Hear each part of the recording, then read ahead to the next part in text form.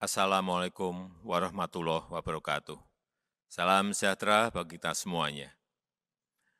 Terkait dengan kejadian aksi terorisme di pintu masuk Gereja Katedral Makassar hari ini, saya mengutuk keras aksi terorisme tersebut dan saya sudah memerintahkan Kapolri untuk mengusut tuntas jaringan-jaringan pelaku dan membongkar jaringan itu sampai ke akar-akarnya.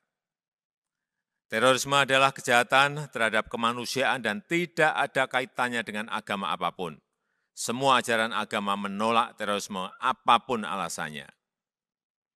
Seluruh aparat negara tak akan membiarkan tindakan terorisme semacam ini, dan saya meminta masyarakat agar tetap tenang menjalankan ibadah karena negara menjamin keamanan umat beragama untuk beribadah tanpa rasa takut.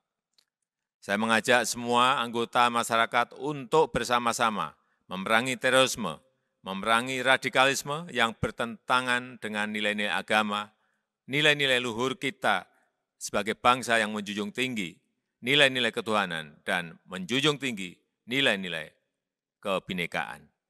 Untuk para korban yang luka-luka, kita mendoakan agar segera diberikan kesembuhan dan negara menjamin semua biaya pengobatan dan perawatan para korban. Assalamualaikum warahmatullahi wabarakatuh.